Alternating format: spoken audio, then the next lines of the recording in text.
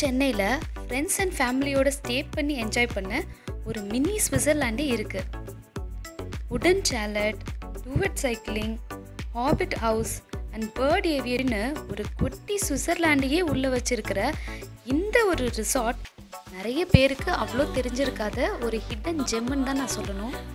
இது ஒரு kids friendly resort மட்டும் இல்லைங்க. ரொம்ப ரொம்ப பட்ஜெட் ஃப்ரெண்ட்லியான ஒரு ரிசார்ட்டும் கூட.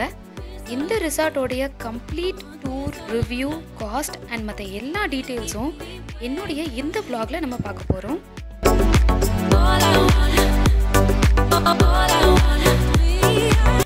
இப்போ நாங்கள் போயிட்டுருக்கிறது பார்த்தீங்கன்னா மகாபலிபுரம் ஃபைரதாஸ் ரோட்டில் இருக்கிற ஓதிவுட் ரிசார்ட் அப்படிங்கிற ஒரு ஹிடன் ஜெம்க்கு தாங்க. இங்கே வந்து டூ டேஸ் ஒன் நைட் ஸ்டேக்கு நாங்கள் புக் பண்ணியிருந்தோம். ரிசார்ட்டோட செக்இன் டைம் பார்த்தீங்கன்னா ஆஃப்டர்நூன் டூ ஓ கிளாக் தான். பட் நாங்கள் மார்னிங்கே வீட்டிலேருந்து கிளம்பி ஒரு சூப்பரான பீச் போயிருந்தோம். இது என்ன பீச் அப்படின்னு பார்த்தீங்கன்னா சென்னை கோவலமில் இருக்கிற ப்ளூ ஃப்ளாக் பீச் தாங்க. இந்த பீச் பார்த்தீங்கன்னா ஃபுல் டீட்டெயில்ஸ் அண்ட் இன்ஃபர்மேஷனை நான் இன்னொரு வீடியோவில் போட்டிருக்கிறேன். அந்த வீடியோவோட லிங்க்கை நான் டிஸ்கிரிப்ஷன் பாக்ஸில் கொடுக்குறேன். இப்போயும் டிஸ்ப்ளே ஆகும். செக் பண்ணிக்கோங்க. அந்த பீச்சில் நாங்கள் நல்லா டைம் ஸ்பெண்ட் பண்ணிவிட்டு இப்போ போதிவுட் ரிசார்ட் போயிட்டுருக்கோம். இப்போ நம்ம ரிசார்ட்குள்ளே வந்தாச்சு. இதுதான் இந்த ரிசார்ட்டோடைய பார்க்கிங் ஏரியா.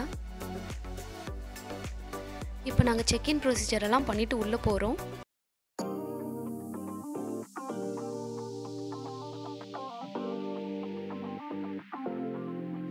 இந்த ரிசார்ட்டில் பார்த்தீங்கன்னா one bedroom chalet superior chalet அப்புறம் த்ரீ பெட்ரூம் அதாவது ஃபேமிலி சேலட் அப்படின்னு சொல்லிட்டு ரூம்ஸ் அவைலபிளாக இருக்குது இது எல்லாமே பார்த்தீங்கன்னா தனித்தனியான சேலட் அதாவது இண்டிபெண்ட்டாக இருக்கிற ரூம்ஸ் மாதிரி இருக்கும்.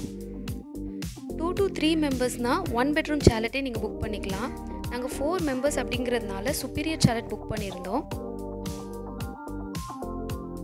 நம்ம சேலட்டோட என்ட்ரன்ஸ்லேயே ஒரு சின்ன சிட் அவுட் வச்சுருக்காங்க. ஒரு லாண்ட்ரி ஹேங்கரும் வச்சுருக்காங்க.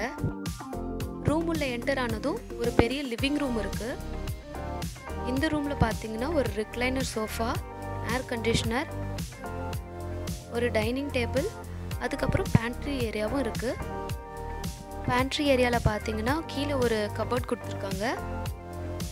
அதுக்கு மேலே வந்து கெட்டில் அதுக்கப்புறம் கப்ஸ் அப்புறம் ட்ரிங்கிங் வாட்டர் அப்புறம் காஃபி டீ போடுறதுக்கான ஐட்டம்ஸ் எல்லாமும் இருக்குது இப்போ வாங்க நம்ம பெட்ரூம் உள்ள போகலாம் பெட்ரூமில் வந்து ஒரு கிங் சைஸ் பெட்டு அதுக்கப்புறம் டிவி அண்ட் ஏர் கண்டிஷனர் இருக்குது ஒரு பெரிய வார்ட்ரோப் இருக்குது உள்ள சேஃப்டி லாக்கர் ஃபெசிலிட்டியும் இருக்குது இது வந்து பாத்ரூம் ரொம்ப க்ளீனாக இருக்குது டென்டல் அண்ட் பாத்திங் கிட் கொடுத்துருந்தாங்க. டவல்ஸும் நல்லா ப்ரொவைட் பண்ணியிருந்தாங்க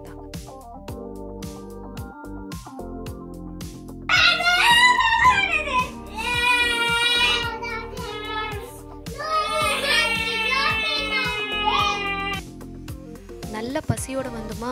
இப்போ நாங்கள் சாப்பிட போகிறோம் இதுதான் வந்து இந்த ரிசார்ட்டோடைய டைனிங் ஏரியா. இங்கே வந்து ஃபுட்டோட டேஸ்ட் ரொம்ப நல்லா தான் இருந்துச்சு. சாப்பிட்டு முடித்து வந்ததும் நாங்கள் ஸ்விம்மிங் பூல் போக ரெடி ஆகிட்டோம் பாருங்கள் ப்ரிஷா மேடம் சூப்பராக ரெடி ஆகிருக்காங்க இந்த ரிசார்ட்டில் பார்த்தீங்கன்னா ரெண்டு ஸ்விம்மிங் பூல் இருக்குது இப்போ நாங்கள் இருக்கிற இந்த இடம். அதுக்கப்புறம் அங்கேருந்து ரைட்டில் போனீங்கன்னா இன்னொரு ஒரு ஸ்விம்மிங் பூலும் இருக்குது பெரியவங்க யூஸ் பண்ண இந்த ஸ்விம்மிங் பூலுக்கு பக்கத்துலேயே பார்த்தீங்களா நல்ல கிளாஸியாக சிட் அவுட்ஸ்லாம் போட்டிருந்தாங்க.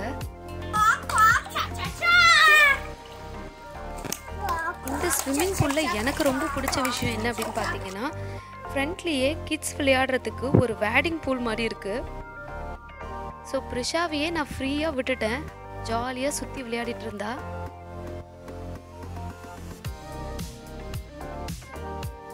டைனிங் ஏரியாவுக்கு வெளியில் பார்த்தீங்கன்னா ஒரு லான் ஏரியா இருக்குது அங்கே வந்து நிறைய சிட் அவுட்ஸ்லாம் போட்டிருந்தாங்க.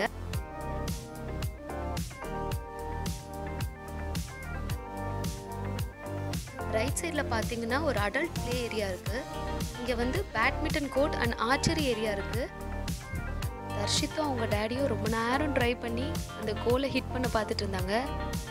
ஆனால் நம்ம ப்ரிஷா வந்து ரொம்ப ஈஸியாக போய் கோலை ஹிட் பண்ணிட்டா. எப்படின்னு பார்க்குறீங்களா? ஆப்போசிட்டில் பார்த்தீங்கன்னா ஒரு அழகான கிட்ஸ் ப்ளே ஏரியா இருக்குது slide swing merry go round அப்புறம் ஒரு ட்ராம்பலினும் இருக்குது இந்த கிட்ஸ் ப்ளே ஏரியாலையும் சிட் அவுட்ஸ் போட்டிருந்தாங்க. இந்த ப்ளே ஏரியாக்கெல்லாம் பக்கத்துலேயும் ஷேடோட சிட் அவுட்ஸ் போட்டிருந்தாங்க. அப்படியே போகும்பொழுது லெஃப்ட் சைடில் ஒரு கார்டன் ஏரியா இருக்குது அதை சுற்றியும் சேலட்ஸ் இருக்குது இந்த சேலட்ஸ் எல்லாம் என்னென்னு பார்த்தீங்கன்னா ப்ரீமியம் ஸ்டுடியோ சேலட்ஸ்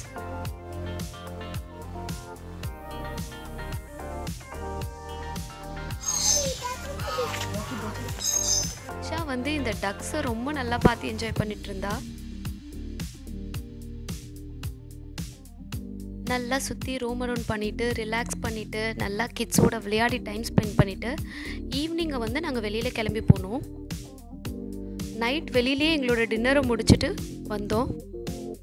இந்த ரிசார்ட்டோடைய நைட் வியூ பார்த்திங்கன்னா ரொம்ப ரொம்ப ரொம்ப அழகாக இருக்குங்க. அங்கே அங்கே ரொம்ப அழகான மைல் லைட்ஸ் கொடுத்துருக்காங்க. இந்த க்ரீன்ஸ்க்கு நடுவில் ஒரு உட்டன் சேலட் அதில் அங்கங்கே லைட்ஸ் ரொம்ப ரொம்ப ரொம்ப அழகாக இருந்துச்சுங்க. நைட் இங்கே இருக்கிற லான் ஏரியாவில் நாங்கள் ரொம்ப நேரம் டைம் ஸ்பெண்ட் பண்ணோம். இப்போ லேட் நைட் ஆகிடுச்சு நம்ம மார்னிங் பார்க்கலாம். மார்னிங் செவன் ஓ கிளாக் எழுந்து வெளியில் பார்த்தா தர்ஷித்தும் அவங்க டேடியும் டூவெட் சைக்கிள் ஓட்டிகிட்டு இருந்தாங்க. அப்புறம் அவங்கிட்ட இருந்து கொஞ்ச நேரம் சைக்கிளை பிடுங்கி நான் ஓட்டிகிட்டு இருந்தேன். இங்கே கிட் சைக்கிள்ஸும் வச்சுருக்காங்கங்க. நாங்கள் மார்னிங் பிரேக்ஃபாஸ்ட்டோடு தான் புக் பண்ணியிருந்தோம். பிரேக்ஃபாஸ்ட் மெனு நம்ம பார்த்துடலாம். இங்கே பிரேக்ஃபாஸ்ட்க்கு பார்த்தீங்கன்னா fresh juice cornflakes milk chana masala vada idli chapati dosa sevai அப்புறம் சாம்பார் சட்னி வெரைட்டிஸ் வச்சுருந்தாங்க. அப்புறம் பாயில்டு எக்ஸ் வச்சுருந்தாங்க. ஒரு ஃப்ரெஷ் ஃப்ரூட் வச்சுருந்தாங்க. அப்புறம் டீ காஃபி வச்சுருந்தாங்க. இது இல்லாமல் லைவ் கவுண்டரும் போயிட்டு இருந்தது. அதில் பார்த்தீங்கன்னா மசாலா தோசை ஆம்லெட் அதெல்லாம் கொடுத்துட்டு இருந்தாங்க. பிரேக்ஃபாஸ்ட் மெனு பார்த்தீங்கன்னா கொஞ்சம் லிமிட்டடாக தான் இருந்தது. ரிசார்ட் புக் பண்ணும்பொழுது பிரேக்ஃபாஸ்ட்க்கு நமக்கு சார்ஜ் பண்ணது பார்த்தீங்கன்னா அரௌண்ட் ஃபைவ் ஹண்ட்ரட் ருபீஸ் தான். ஸோ அதுக்கு ஜஸ்டிஃபை பண்ணுற மாதிரியே மெனு இருந்துச்சு. டேஸ்ட் வைஸ் பார்த்தீங்கன்னா எல்லாமே நல்லா தான் இருந்துச்சு. இப்போ வந்து மோஸ்ட் அவைட்டட் பார்ட் பேர்ட்ஸ் ஏவியரிக்கு நாங்கள் போகிறோம் இங்கே வந்து பார்த்தீங்கன்னா டிஃப்ரெண்ட் வெரைட்டிஸ் ஆஃப் பேரட்ஸ் வச்சுருந்தாங்க. ஸ்டார்டிங்கில் கொஞ்சம் பயமாக தாங்க இருந்துச்சு. ஆனால் பார்த்தீங்கன்னா இந்த பேர்ட்ஸ் எல்லாமே ரொம்ப ரொம்ப ஃப்ரெண்ட்லியாக இருந்தது.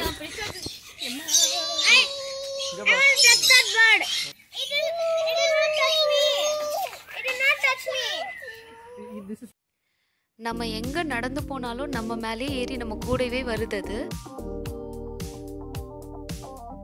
இந்த பேர்ட்ஸ்க்கெல்லாம் ஃபீட் பண்ணுறது ஒரு நியூ எக்ஸ்பீரியன்ஸாக இருந்துச்சு.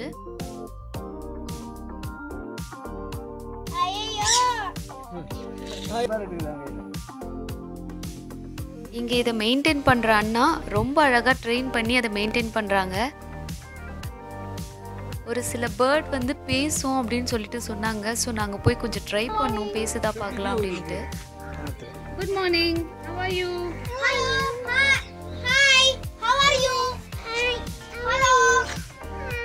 அந்த கிளி பேசாது இந்த கிளி பேசு we had a very good time இந்த சேவியரி அதுக்கப்புறம் ஃபோன் கேமரா எல்லாத்தையும் தூக்கி வச்சுட்டு நல்லா டைம் ஸ்பெண்ட் பண்ணோங்க. டுவெல் ஓ கிளாக் எங்களுக்கு செக் அவுட் டைம் கொடுத்துருந்தாங்க. ஆனால் பார்த்தீங்கன்னா நாங்கள் லஞ்ச் அங்கேயே அரேஞ்ச் பண்ணியிருந்ததுனாலையும் ரூம் ஃப்ரீயாக இருந்ததுனாலையும் நாங்கள் டூ ஓ கிளாக் தான் செக் அவுட் பண்ணுமே. டோட்டலாக it was a fantastic experience noise crowd அதெல்லாம் அவாய்ட் பண்ணிவிட்டு ரிலாக்ஸ் பண்ணணும்னு நினைக்கிறவங்களுக்கு ஒரு பெஸ்ட் ஆப்ஷன் இது. ஃப்ரெண்ட்ஸ் அண்ட் ஃபேமிலியோட டைம் ஸ்பெண்ட் பண்ணுறதுக்கு கண்டிப்பாக இது one of the best resorts தான். நாங்கள் இந்த சுப்பீரியர் சேலட்டை புக் பண்ணும்போது எங்களுக்கு three thousand five hundred plus tax ஆகிடுச்சு நாங்கள் பிரேக்ஃபாஸ்ட்டும் இன்க்ளூட் பண்ணதுனால plus five hundred so all together four thousand five hundred rupees நாங்கள் ஸ்பெண்ட் பண்ணோம். இது ஒர்த் ஃபார் மணி தான்ட்டு நாங்கள் ஃபீல் பண்ணுறோம் இந்த ரிசார்ட்டை பற்றி நான் கொடுத்த எல்லா இன்ஃபர்மேஷனும் அண்ட் எங்களோட இந்த விலாகும் ரொம்ப இன்ட்ரெஸ்டிங்காகவும் அண்ட் யூஸ்ஃபுல்லாகவும் இருக்கும் நான் நம்புகிறேன் அண்ட் என்ன? எல்லா குட் மெமரிஸும் கலெக்ட் பண்ணிவிட்டு நாங்களும் இங்கேருந்து கிளம்புறோம். பாய் பாய்